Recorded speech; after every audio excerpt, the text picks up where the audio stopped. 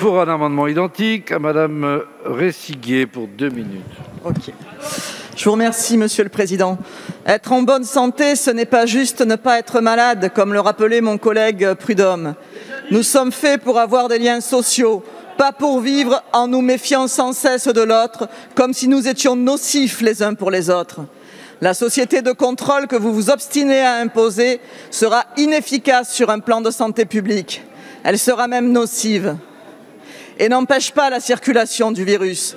C'est un non-sens absolu. Oh, vous pouvez crier, c'est tout ce que vous savez faire.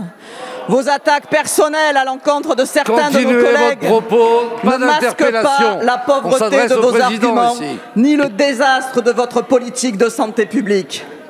La méthode Coué dont vous êtes adepte non plus. Cessez de faire les trois singes et revenez à la raison. Merci.